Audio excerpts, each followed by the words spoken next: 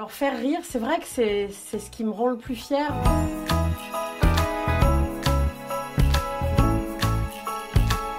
Parce que je trouve que euh, c'est plus euh, difficile en fait pour moi de faire rire à l'écrit que de faire pleurer. Faire pleurer, on va aller tirer certaines cordes sensibles, on va euh, aller sur certaines thématiques qui évidemment vont émouvoir euh, tout le monde, alors que faire rire, c'est nettement plus difficile. On rit pas tous des mêmes choses, on n'a pas tous le même humour, et je trouve que c'est un sentiment tellement positif.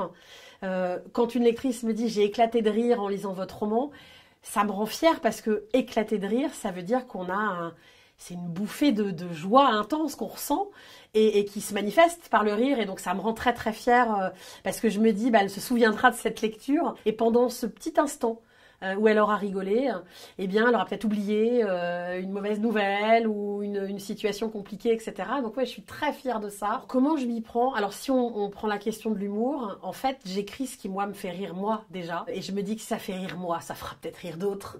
Donc j'essaye pas euh, en fait, j'essaye pas d'être drôle à tout prix et de me dire euh, je vais prendre tel truc parce que ça marche. Non, en fait, je me fais d'abord rire moi et je les mets dans des situations que moi je trouve drôles parce que c'est des situations cocasses, euh, parce que ça les ça les met dans une, dans une situation différente, parce que ça apprend aussi l'autodérision. Je pense que mon humour, c'est beaucoup un humour d'autodérision. Euh, les personnages se moquent d'eux-mêmes. Euh, et dans la vie de tous les jours, je suis comme ça, en fait. Je me moque de moi-même, euh, et donc je mets ça dans les romans.